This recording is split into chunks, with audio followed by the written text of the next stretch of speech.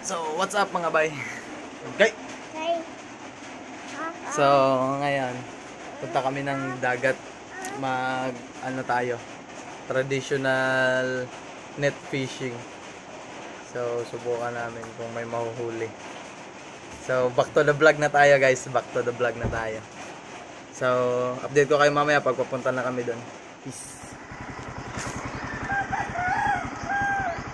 Say hi, Ti. Hey guys. So, paalis na kami. Papunta na kaming dagat. Saan ka pa doon, Ti? Mga dagat. Ito ka dagat, Ti? Mga dagat. Okay.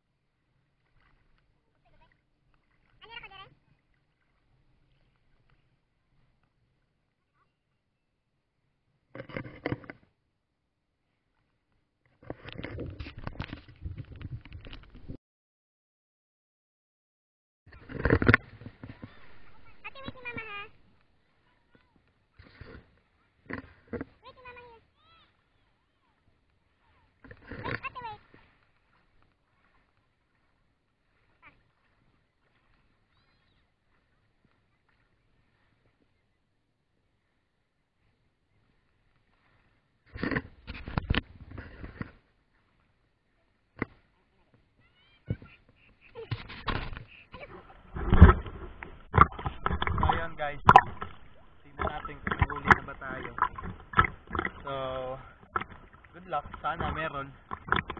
So, it's been 8 years bago ko ginawa ulit. So, good luck sana. So guys, pangalawang panda walang kuha. so, sa pangatlo, yan, meron tayo blue crab pero lalaki. So okay siya, goods. Goods kasi lalaki. So pag babae hindi natin kukunin. So subukan ulit natin.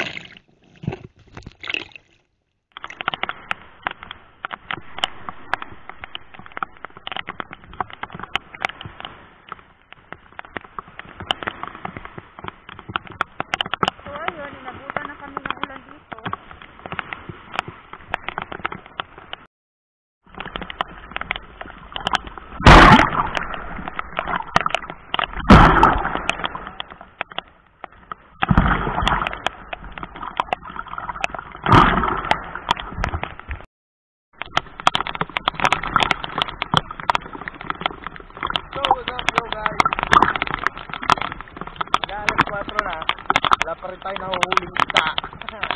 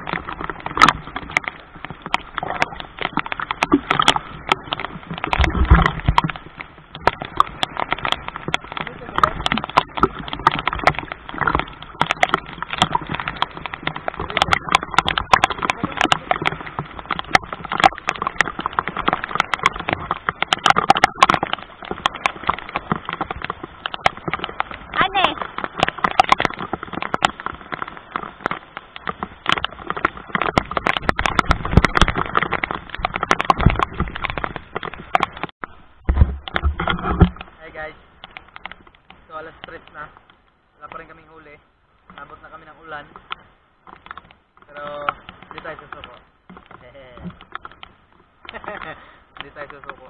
Hanggat di tayo nakakuha ng isang piraso. So ayan guys, ulan.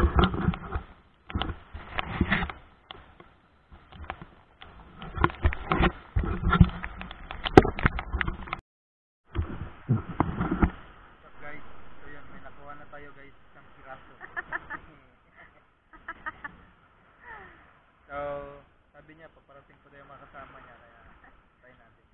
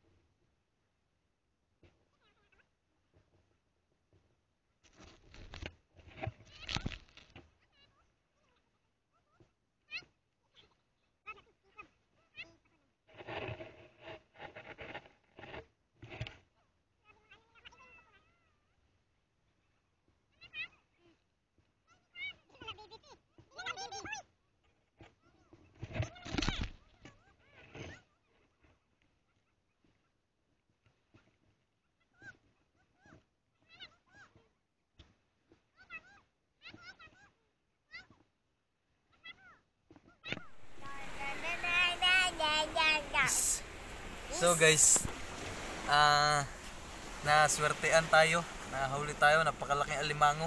Tapos swerte pa kasi ano, lalaki. Lalaki siya, so pwede nating ulamin. So pauwi na sana kami kasi wala, matumal yung kuha namin, oh, yan lang oh. Tumal ng isda. Tapos biglang pag angat ko sa ng lambat, ito bigla bumungad sa amin. Hindi na kami nakapag-video kasi pauwi na nga sana kami. Magliligpit na lang sana. Tapos biglang ganito. Kaya yun. Thank you Lord.